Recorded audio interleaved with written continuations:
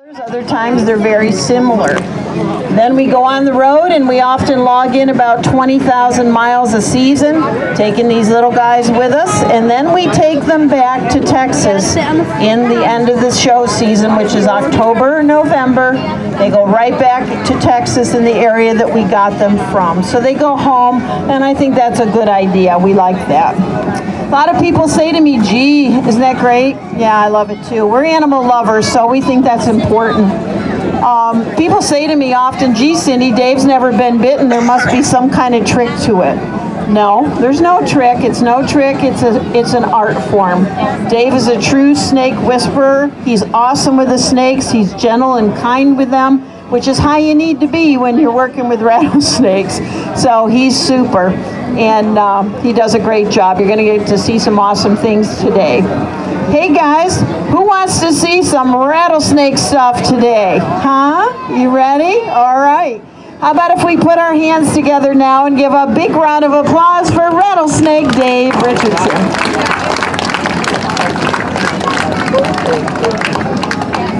thing on? Uh, is it on? Alrighty. Can everybody hear me? Yeah. They hear me in the back. Alrighty. Well, I'll tell you something. Uh, like Cindy said, uh, we do rattlesnake shows all over the country. Uh, we've been to 38 states out of the 50. And before I start each show, I make sure that everyone knows that all of my rattlesnakes, every one of them have their fangs and they have their venom. I don't do anything to change that. I don't pull the fangs out. I don't break them off. I don't try to milk the venom out of the rattlesnakes. I think we've all seen at one time or another, see maybe on Animal Planet or the Discovery Channel, somebody takes a venomous snake by the back of the head, they hang the fangs over a beaker or a jar, glass or something, and they apply pressure to the sides of the head and some of the venom comes out. Now I say some of the venom because even if you're an expert at milking venomous snakes, you're only going to get about half of the venom out of the rattlesnake. The other half of the venom still in the snake is more than enough to inflict a terrible, terrible bite. Also, about every two weeks, they get their venom back again. So I'd have to milk them over and over. And they don't tell you on the Discovery Channel or Animal Planet that when you milk these venomous snakes over and over, eventually you rupture their venom glands and the snake will die. Nobody wants to see the West Texas dead rattlesnake show. So we just keep them as is. The end of the season, we take them back, let them go, and then I collect up more rattlesnakes for the next year. But this year, it's going to be a little different. After I take them back and let them go, that's it. Uh, this is the last season for me. I've done this for 31 years. I'm an older kid. I'm 70, 75 years old, and that's it. I'm done this year. So uh, after this, uh, that's the end of it. I'll let them go. Everything will be fine. All righty. Now, people say, Dave, if you're going to retire, what are you going to do if you need more money or something like that? Well, I, I looked out for that. And uh, if anything happens and I need a little bit more money, I have another career that I've been practicing for. Here's the other career if I need a little money after I retire. Welcome to Walmart. Would you like a cart? No, no, I can do that. Oh yeah, I'm all set with that. All righty, moving along. Let me go get my rattlesnake handling gloves. Oh boy. Alrighty, rattlesnake handling gloves. Oh boy. There we go. Now, my breath, where you? Oh, come on. Alrighty, rattlesnake handling gloves. You can buy rattlesnake handling gloves at any Walmart, Kmart, CVS, Walgreens. You just go in and ask for them by name. I'd like a pair of rattlesnake handling gloves. I like the vinyl gloves. Now the boys and girls, you will not need rattlesnake handling gloves because even though you have rattlesnakes right here in the state of Pennsylvania, you got to be real careful. You've got eastern Massasauga. That's the largest of the pygmy rattlesnakes. They only get about 10, 12 inches long. They're kind of a heavy, beefy snake.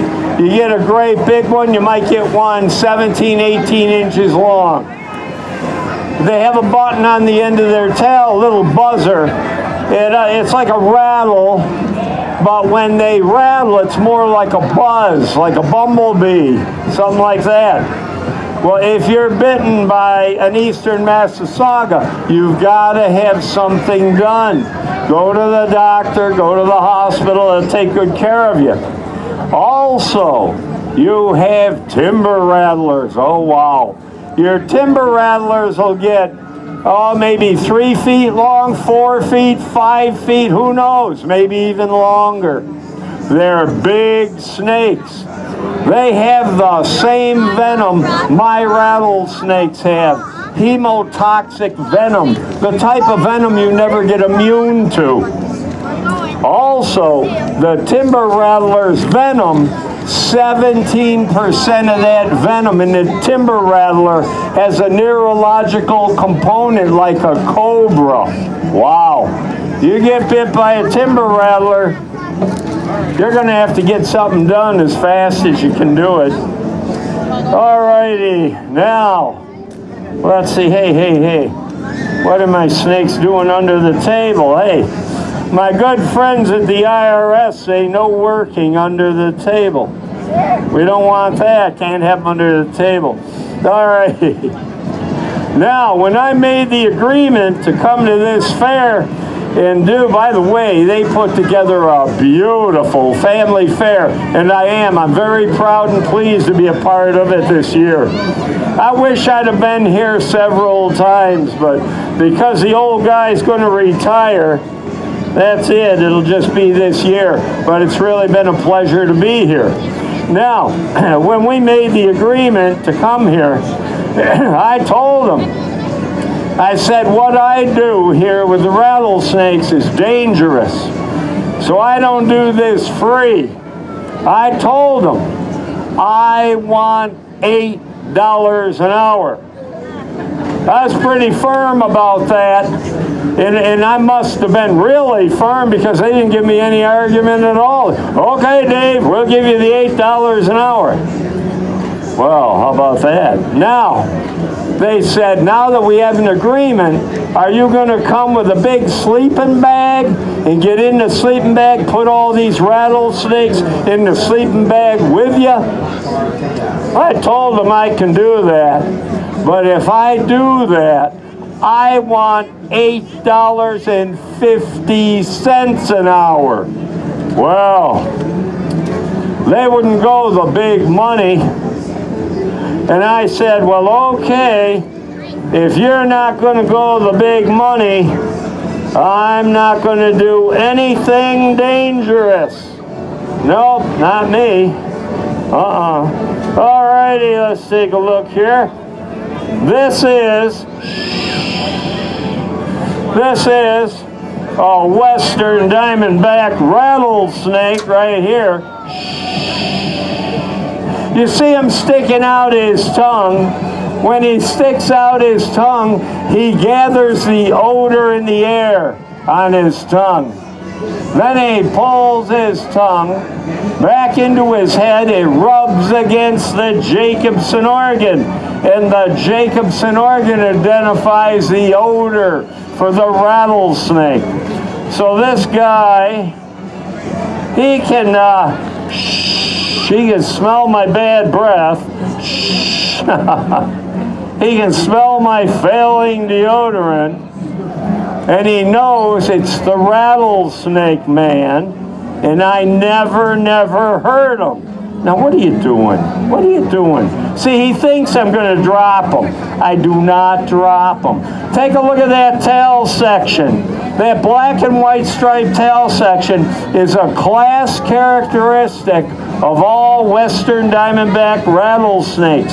You got them all different shades, different colors, but they'll all have that black and white striped tail section. I'm going to put them down here on the floor. Hey, come on, you're going to go on the floor. That's where you want to be. When you're on the floor, you can't fall. There you go. Oh boy, there you are. See? Good rule of thumb here. If you have a rattlesnake show, good rule of thumb, do not ever hurt them. They bite for three reasons. You scare them, you hurt them, or they think you're food. Now, how do they think you're food? Rattlesnakes are pit vipers. They have heat-seeking membrane on each side of their face. That heat-seeking membrane can sense heat to one thousandth of a degree. If you put your hand in front of their face, I mean, that's one thing if they're crawling around when I'm holding them up. But if you put your hand in front of their face and they sense the 98.6 of your body temperature in your hand, they might bite your hand thinking it's something to eat if they can't connect it with you. So you have to be careful. All right, now I want to show you a rattlesnake that's extremely rare and very unusual. This snake is not an albino. It has what they call a super gene. And that super gene takes the pigment out, and the pigment does not go on their skin. So they end up looking like an albino. Let me get this guy. Oh, hey, that's another thing. You probably wonder when you hear this, when you hear me going, that doesn't mean you're making too much noise. If I do that, shh, the snakes smell my breath. They know it's me, and they know I won't hurt them. And they're not supposed to bite me. Now that's been working for 31 years. I sure hope it keeps working. Let's see. Let's try it. Shh. Come on. Oh boy, hey. Shh.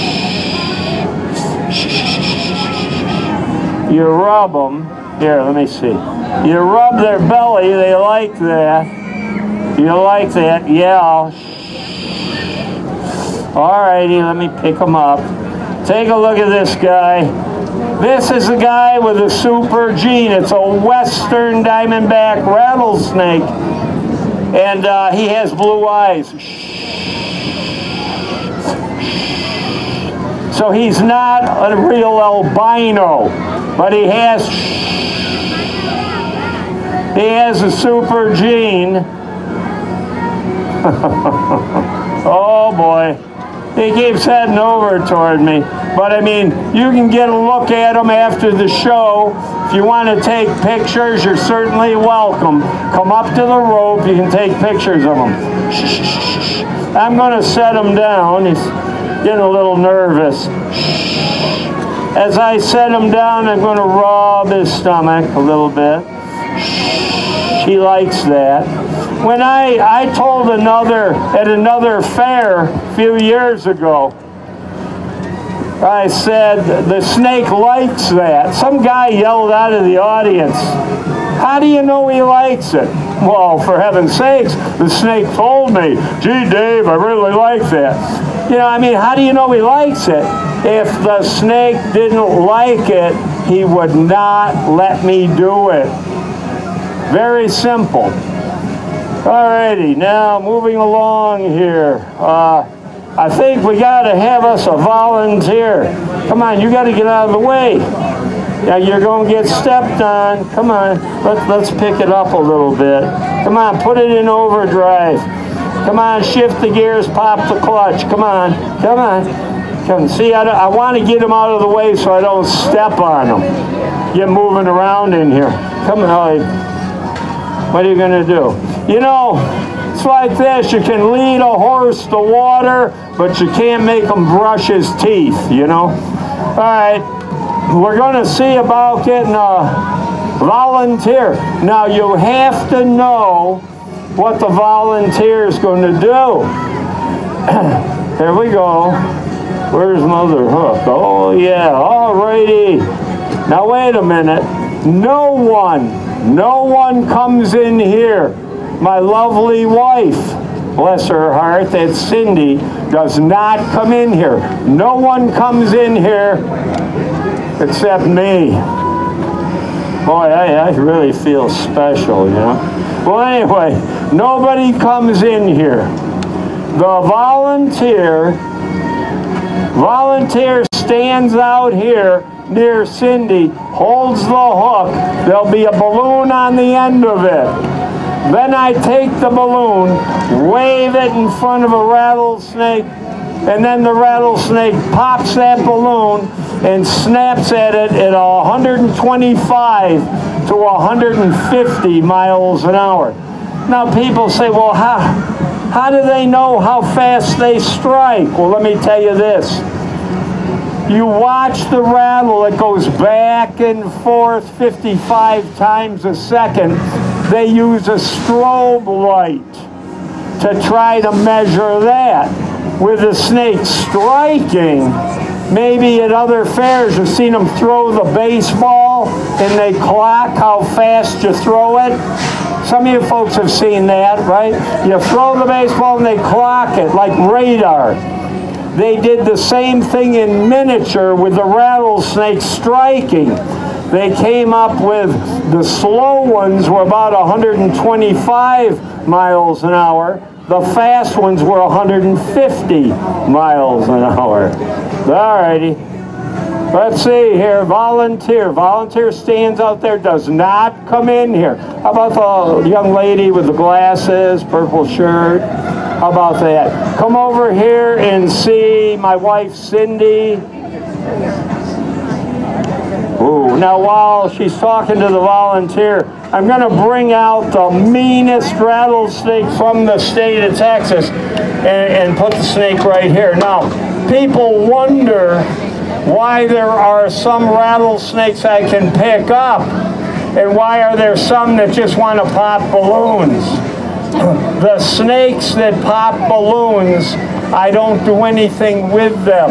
I don't spend any time with them. I just clean their area, change their water, feed them, and I spend no time with them at all. The snakes on the floor, the snakes that I pick up, I'll spend as much as 30, 40, 50 hours working with them before we go on the road.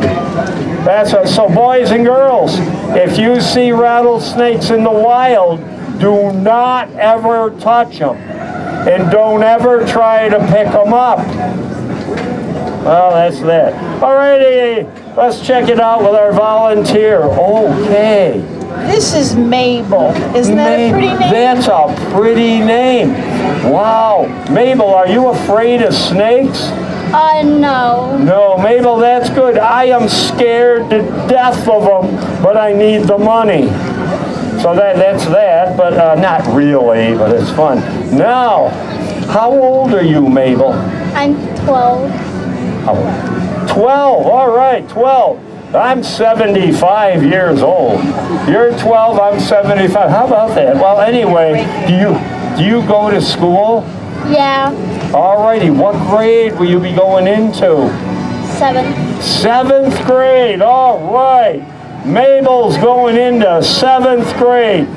Seventh grade was three of the happiest years of my life. Boy, did I love seventh grade. I can't help but feel a little bit smarter than the average person because I spent three years in seventh grade. Wow. Well, maybe that's why I'm doing rattlesnake shows. Okay, Mabel, here's what I'm going to do. I'm going to bring out the meanest rattlesnake from the state of Texas. Then I'm going to take this, but you stay right here, okay? Stay right here.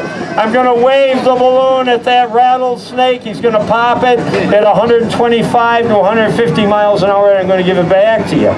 Okay, so you'll be all ready for me to give it back to you. All right, here we go. Oh, boy. Fun, fun. Oh. Okay. Good, good, good, good, good. What did I do? Pretty hard to misplace something when you're only in a 10 foot by 10 foot thing here. Hey Dave, where'd you set your thongs right here? Hey, I, I felt like that a few times. I just don't cry because people laugh, but I probably felt like that. Alrighty, here we go. The meanest rattlesnake from the state of Texas. Yes. Oh boy. All right. Oh goody, goody, goody, goody. Oh boy. I don't know if you can hear him rattle. You hear that? Music to my ears, I hear that in my sleep. All right, here we go. The meanest rattlesnake from the state of Texas. Let me tell you how mean this snake is. This snake is so mean, if you look up the word mean in the dictionary, you're going to see a picture of this snake right next to a picture of my ex-wife. We're talking mean here. Wow. Oh boy. Ooh, doggies. All right, here we go. Wow. Now, sometimes, not always, sometimes after the rattlesnake pops the balloon, it comes off the table and it comes after me trying to bite me. If the snake does that, don't watch. Look away. You don't want to see that. I don't want you having nightmares like I do. Hey, I warned them, honey. I warned them, Mabel. I did, so they won't look if that thing comes in. It doesn't do it all the time, but sometimes. Alrighty, Mabel, here we go. Wait right there, because I'll bring this right back to you, okay? Watch the snake on the table. Watch them. Watch them. Watch them. Watch them. This will not hurt the rattlesnake. I'll prove it to you. Oh, that was awful. All right, here we go. Watch the snake on the table. Watch him. Don't take your eyes off him. Anytime there. Oh. Perfect. All right, now don't do anything else. They don't want to see you chase me around in here. You're all right. Good boy. You're all right. Here we go. Oh, man. All right, let's have a big round of applause for Rattlesnake Dave. That's awesome. We have a little thank you gift for Mabel. This is a little joke thing. It says rattlesnake eggs, but it really, when you open it up, see what?